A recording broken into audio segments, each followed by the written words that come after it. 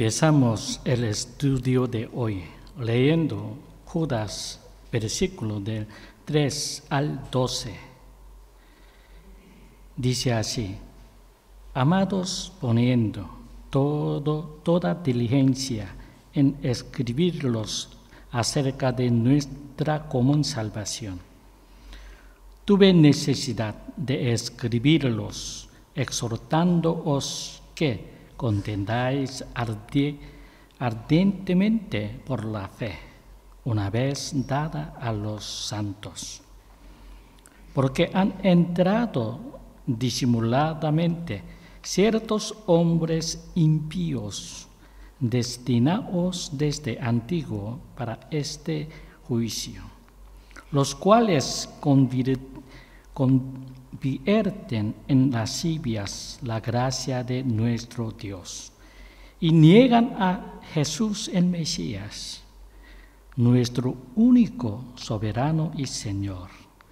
Y quiero recordaros como a conocedores que sois de todas las cosas que Jesús, habiendo salvado al pueblo, sacándolo de la tierra de Egipto, después destruyó a los que no creyeron y a los ángeles que no guardaron su estado original, sino que abandonaron su propia morada los ha mantenido bajo oscuridad, en prisiones eternas hasta el juicio del gran día.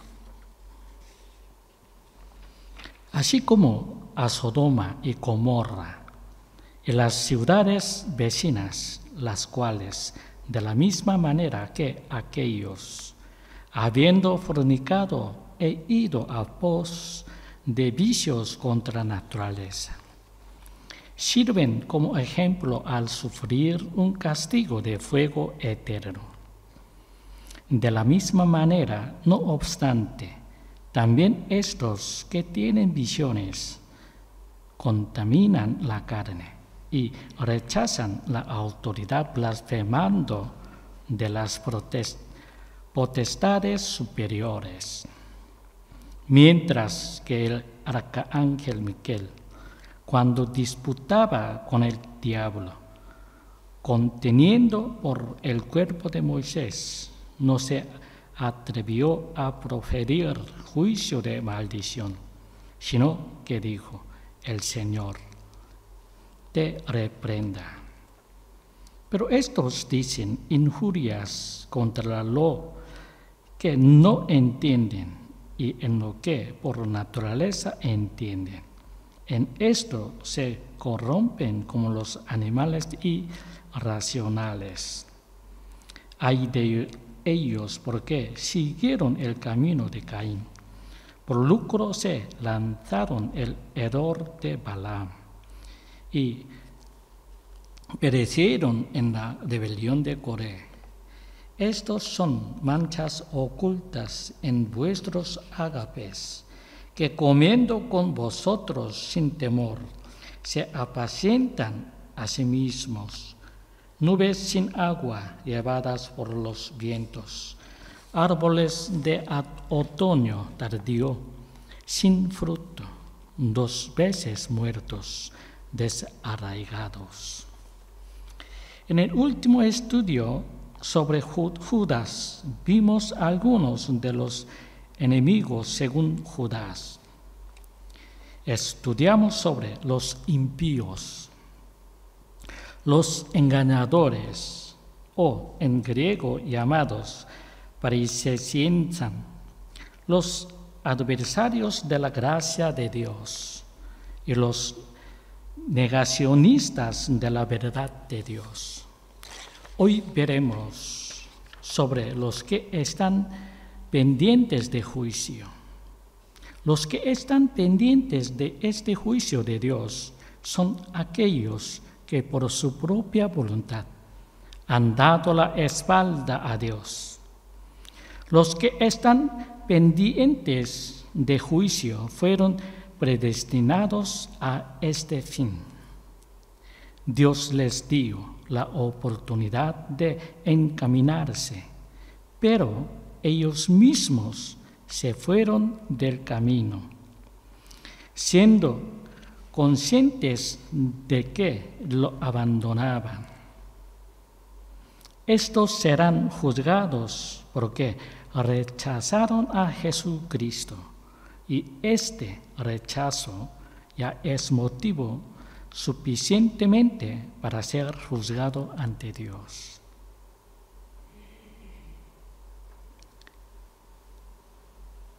Ellos rechazaron a Jesucristo. Y este rechazo ya es motivo suficientemente para ser juzgado ante Dios. Recordemos que hablamos de los falsos profetas, y maestros, todos ellos enemigos de la iglesia viene a, a nosotros para engañarnos y para que caigamos en las trampas de Satanás. Busquemos segunda de Pedro, capítulo 3, versículo del 1 al 13. Segunda Pedro, capítulo 3, versículo del 1 al 13.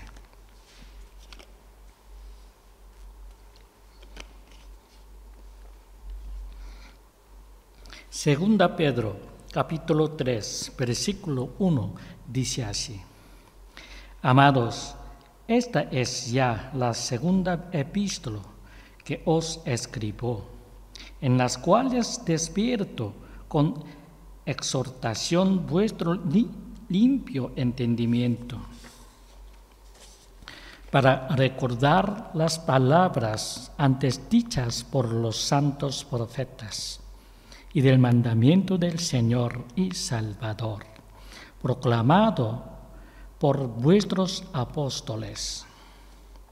Conociendo primero esto, en los posteros días vendrán burladores, andando según sus propias concupiscencias y diciendo, ¿dónde está la promesa de su advenimiento?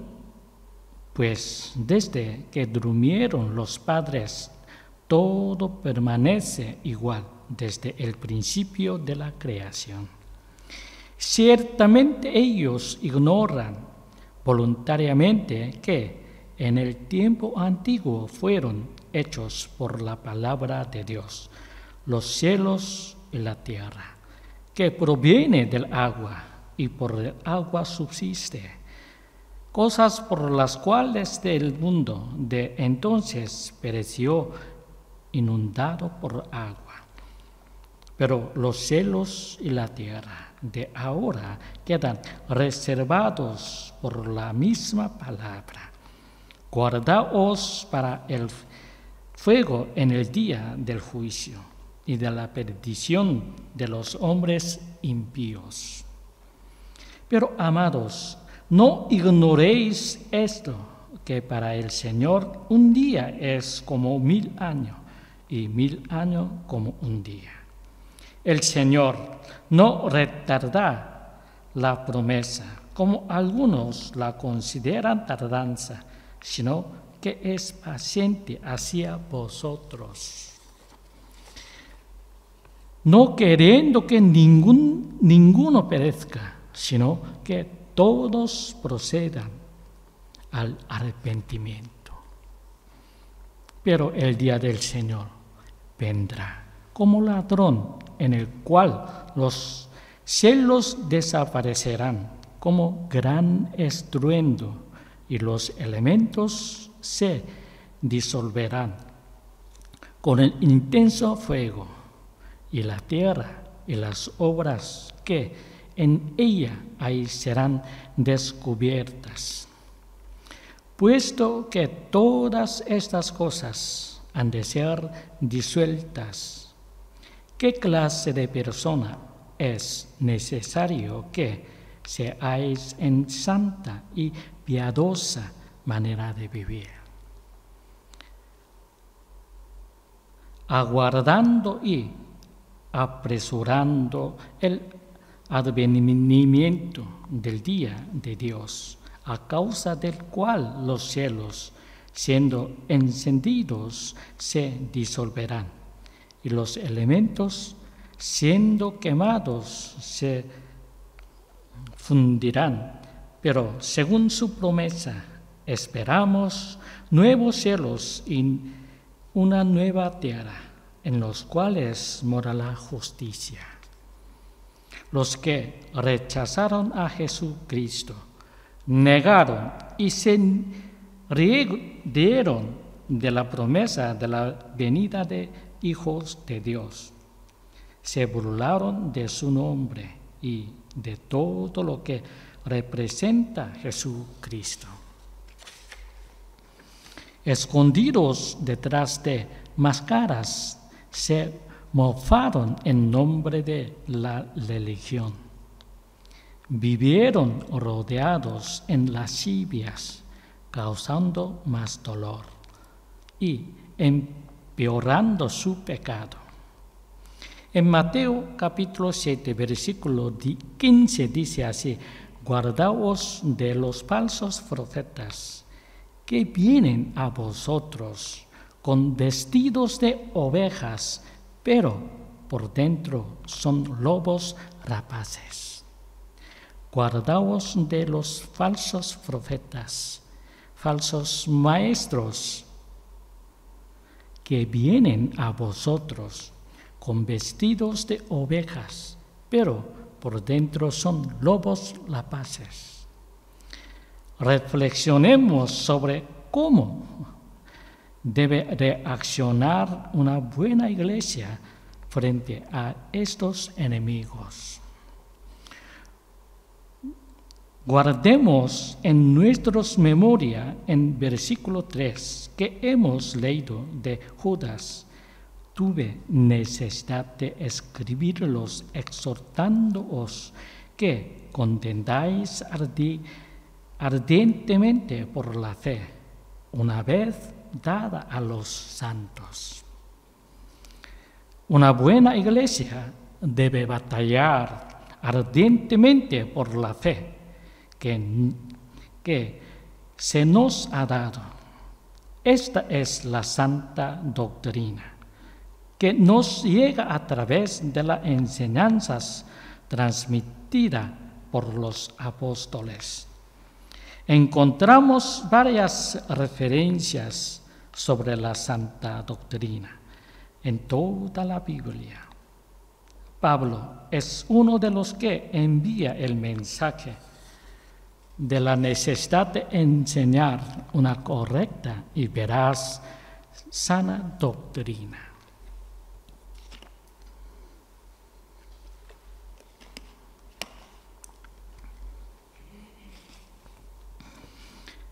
Transmitir una sana doctrina a todos los demás es el, el encargo de Dios dio a los apóstoles y estos al resto. Todos los miembros de la iglesia de Dios tienen su cometido. Veamos en Primera de Tesalonicenses capítulo 2, versículo 1 al 12.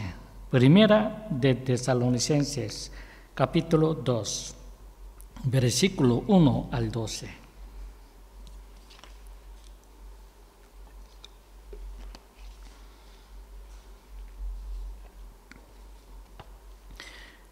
Primera de Tesalonicenses capítulo 2, versículo 1 dice así, pues vosotros mismos sabéis, hermanos, que nuestra visita a vosotros no fue en vano, sino que habiendo sufrido y habiendo sido maltratados en Filipos, como sabéis, tuvimos confianza en nuestro Dios para proclamarlos el Evangelio de Dios en medio de muchas oposición.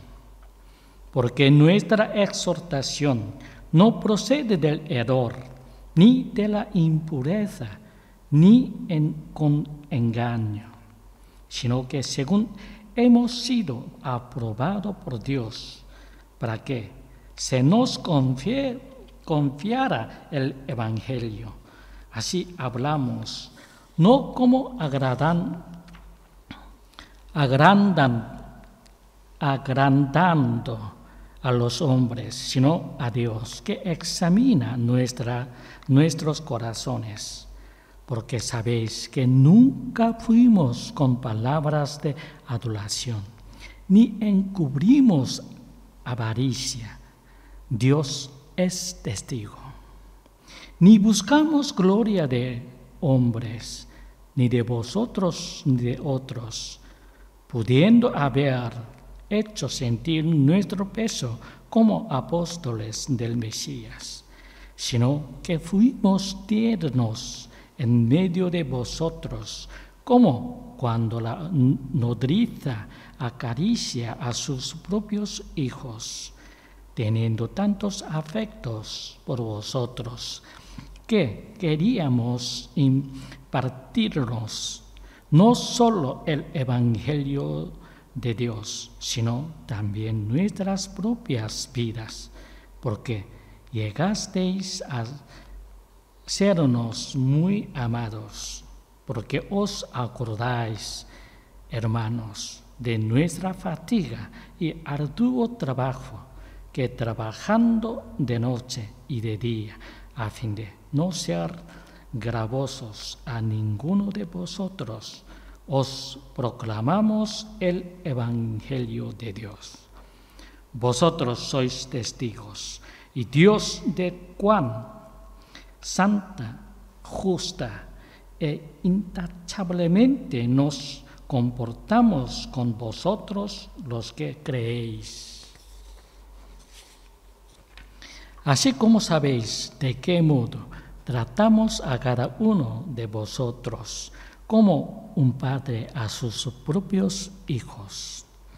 Os exhortábamos y consolábamos y os insistíamos que anduvierais como es digno de Dios, que os llama a su propio reino y gloria. Veamos en primera de Timoteo capítulo 1, versículo 11, dice así, conforme al Evangelio de la gloria del bienaventurado Dios, el cual me fue encomendado. También buscamos en 2 de Timoteo capítulo 2, versículo 1 y 2, dice así, Tú, pues, hijo mío, sé fortalecido con la gracia que hay en Jesús el Mesías. Las cosas que oíste de mí en medio de muchos testigos, estas encarga a hombres fieles que sean idóneos para enseñar también a otros. Siempre debemos recordar y no olvidar el agradecimiento que les debemos al enorme esfuerzo de los apóstoles y sus hombres para mantener y hacernos llegar hasta el día de hoy. El mensaje que Jesucristo les transmitió en su tiempo. Nosotros también tenemos el cometido de transmitir tal cual hemos recibido el mensaje a nuestras futuras generaciones.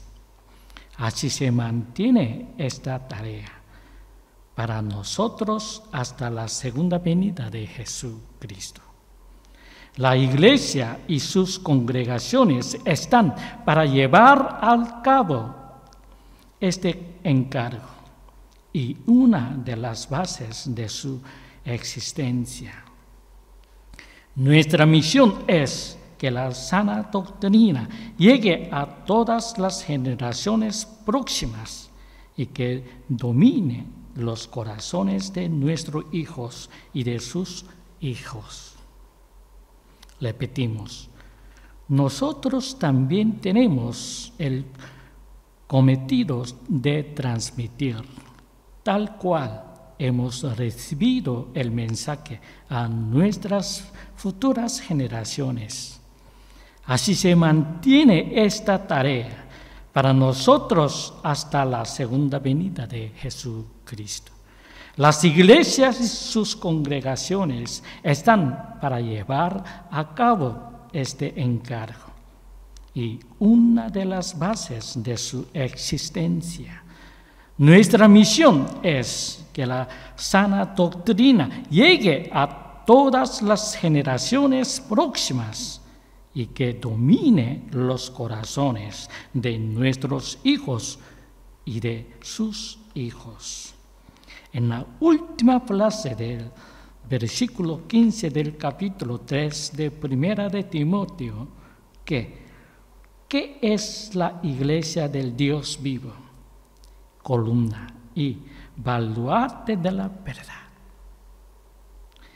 La iglesia de Dios vivo, columna y baluarte de la verdad.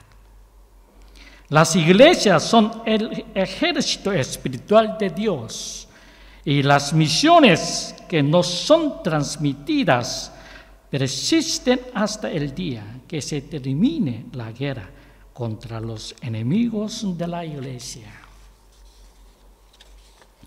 Cuando Judas dice que contendáis ardientemente por la fe una vez dada a los santos, en griego se utiliza una palabra que significa batalla hasta la última gota de sangre y hasta que no quede más fuerza ni para respirar. Que contendáis ardientemente por la fe, una vez dada a los santos. En griego se utiliza una palabra que significa batallar hasta la última gota de sangre y hasta que no queden más fuerzas ni para respirar. Para que este ejército pueda batallar hasta el final todos los hijos de Dios debemos juntarnos y batallar unidos. Pero tristemente hoy en día hay zonas y congregaciones que no están muy unidas y existen peleas, peleas y discusiones entre miembros de iglesia o con otras iglesias, desacuerdos e incluso violencia y muertes dentro del mismo ejército. No debemos permitir que estos problemas separan el ejército al que pertenecemos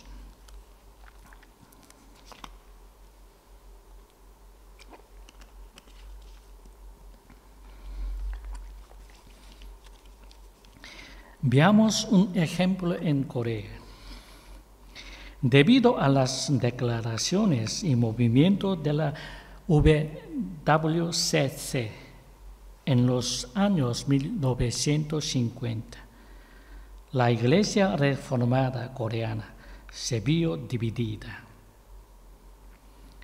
Hace pocos años, 2020, la WEA también provocó más divisiones dentro de la misma.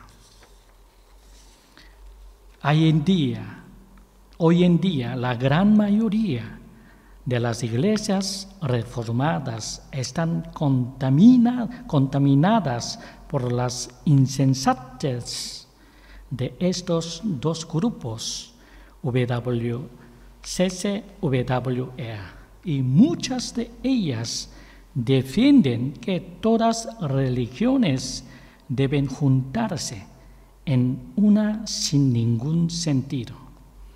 Muchas de estas iglesias han abandonado la asamblea cristiana y están creando otras comunidades con los principios de la WCC y la WWEA. Las iglesias que han quedado a salvo de esta perversión son pocas y cada vez son menos. Se cuenta que menos que 500 iglesias son las que quedan luchando contra esta corrupción de un total de más de 100.000 iglesias. La comunidad cristiana decidió hace pocos años que no se separarían de la, la VEA y seguirían con sus lazos, ya que si no continuaban con ellos, tenían miedo de los que los pastores y los profesores de su comunidad fueran marginados y apartados, incluso profesores y también de alumnos. El pastor y teólogo inglés Charles Spurgeon vivió durante el siglo XIX y fue conocido como el príncipe de los predicadores. Él escribió que las novedades son peligrosas para la sana doctrina. Un abrigo nuevo no siempre es mejor que el abrigo antiguo y los cambios del materia, material de enseñanzas llevan más a la muerte que a la vida. Spurgeon dice, las novedades son peligrosas para la sana doctrina. Un abrigo nuevo no siempre es mejor que el abrigo antiguo y los cambios del material de enseñanzas llevan más a la muerte que a la vida. No podemos tomar el veneno por el miedo que le tenemos a ser apartados o marginados. Vemos tristemente que la orden más conservadora cristiana coreana actual se está derrumbando y desviando totalmente del camino. Y no es la única Muchas congregaciones, comunidades y órdenes cristianas están dando más importancia al estatus social, a lo que realmente debería importarnos, que es la santa doctrina. Para evitar difícil defensa de la santa doctrina, a la que estamos llamados se está pactando, pactando con el enemigo. Las comunidades cristianas prefieren juntarse con otras creencias y religiones porque es más cómodo y sencillo que la batalla. las comunidades cristianas prefieren juntarse con otras creencias y religiones porque es más cómodo y sencillo que la batalla. Muchas comunidades se están riendo, riendo frente a las comodidades de las nuevas definiciones de la doctrina. Demasiados soldados espirituales han perdido la batalla de defender la santa doctrina, sometiéndose a doctrinas falsas. Nos hemos juntado dentro del amor de Dios. Es lo que manifiestan estos soldados sucumbidos, sucumbidos. Debemos sentir pena por estos soldados que fueron una vez hermanos nuestros, pero eligieron el camino erróneo y aun siendo esclavos de las mentiras de Satanás, y sus hijos expresan y declaran sin vergüenza alguna que siguen dentro del amor de Dios. Exponen orgullosos sus errores y falsas doctrinas en el nombre de Dios, lo cual hace espantosos y más grave su pecado. Repetimos, debemos sentir pena por estos soldados que fueron una vez hermanos nuestros, pero eligieron el camino erróneo y aun siendo esclavos de las mentiras de Satanás. Y sus hijos expresan y declaran sin vergüenza alguna que siguen dentro del amor de Dios. Exponen orgullosos sus errores y falsas doctrinas en el nombre de Dios lo cual hace espantoso y más grave su pecado. Hemos visto un ejemplo en la comunidad cristiana coreana actual, pero no es el único caso. Muchas de las iglesias cristianas de todo el mundo están cayendo. Grandes y pequeñas iglesias en Canadá, Estados Unidos, Escocia, Holanda y toda América Latina, entre otros muchos países y religiones. La sana doctrina se está perdiendo y de allí la caída se hace más y más pronunciada. Siempre debemos tener la verdad por delante Debemos hablar de amor en la verdad. Nuestra única y válida arma es la palabra de Dios. Ninguna otra arma es válida para esta batalla. No luchamos contra individuales o personas concretas Luchamos contra los enemigos de la santa, sana doctrina, solo y para el honor y gloria de nuestro Señor Jesucristo. Repetimos.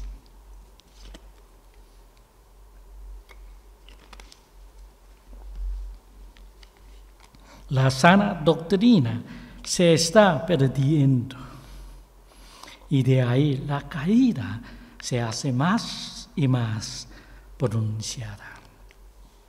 Siempre debemos tener la verdad por delante. Debemos hablar del amor en la verdad. Nuestra única y válida arma es la palabra de Dios. Ninguna otra arma es válida para esta batalla. No luchamos contra individuales o personas concretas. Luchamos contra los enemigos de la sana doctrina, solo y para el honor y gloria de nuestro Señor Jesucristo. En Lucas capítulo 18, versículo 8, se preguntó Jesús, pero cuando venga el Hijo del Hombre, ¿Hallará fe en la tierra?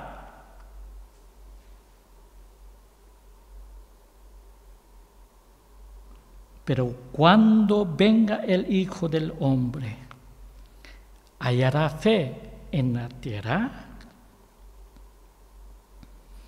Reflexionemos en esta pregunta. Estamos en tiempos decadentes y estamos dormidos. Pero debemos despertar para poder batallar.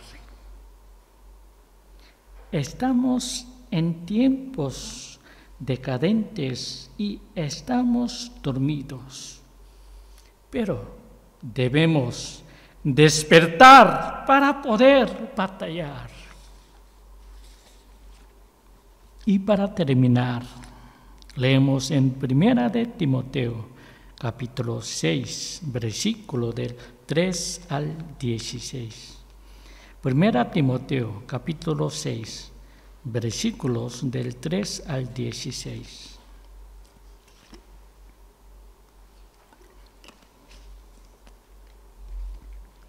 Primera de Timoteo, capítulo 6, versículo 3, dice así. Si alguno enseña otra cosa y no se amolda a las sanas palabras, las que Jesús en Mesías, nuestro Señor, y a la doctrina que es conforme a la piedad.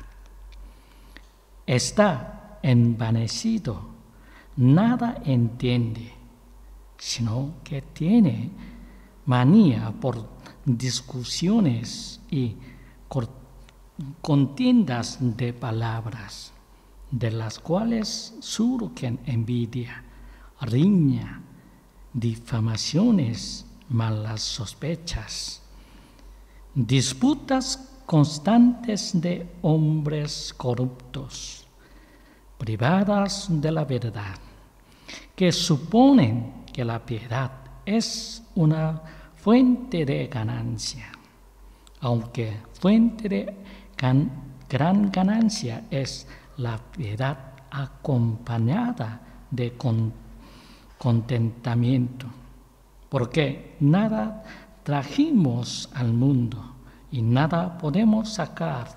Así que, teniendo sustento y abrigo, estemos contentos con esto.